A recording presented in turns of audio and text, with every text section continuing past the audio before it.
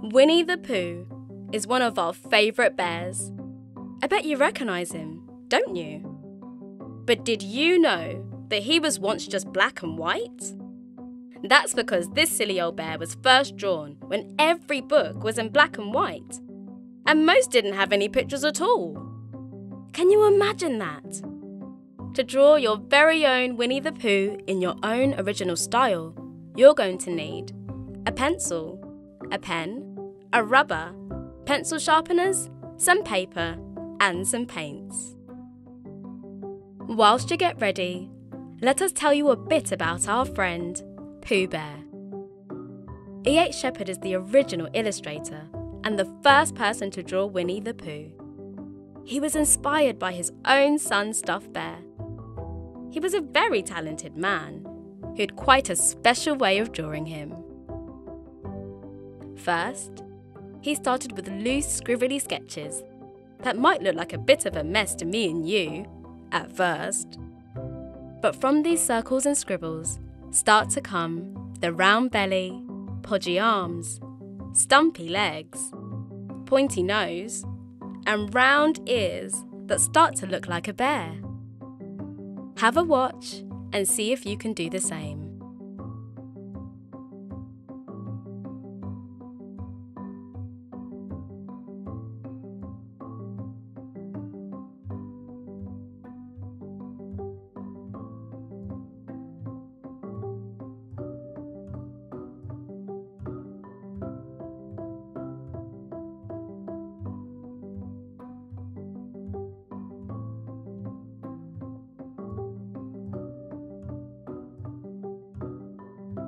It takes some time, paper, and lots and lots of pencil sharpening. But with a bit of practice, you'll see your own Winnie the Pooh start to take shape.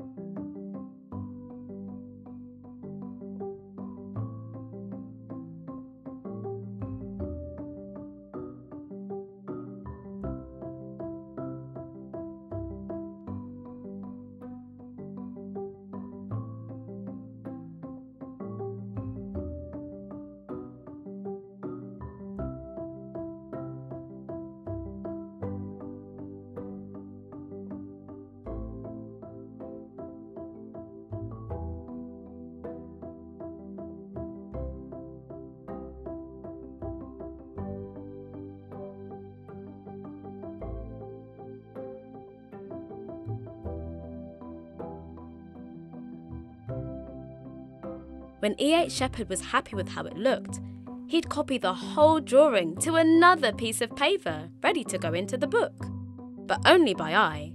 No tracings allowed. He must have thought that would be cheating.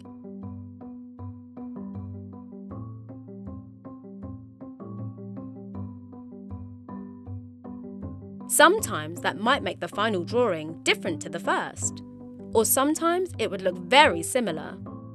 But that's why every original drawing of Winnie the Pooh is unique.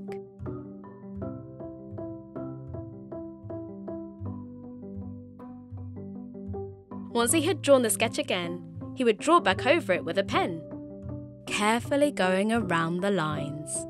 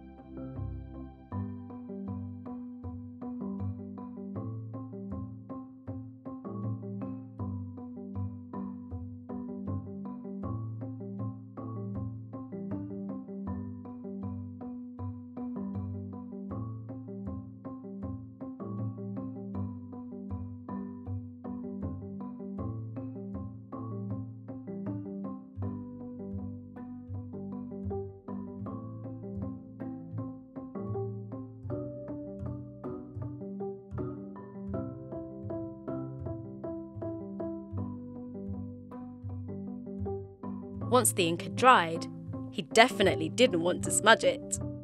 E.H. Shepard would carefully rub out the pencil marks.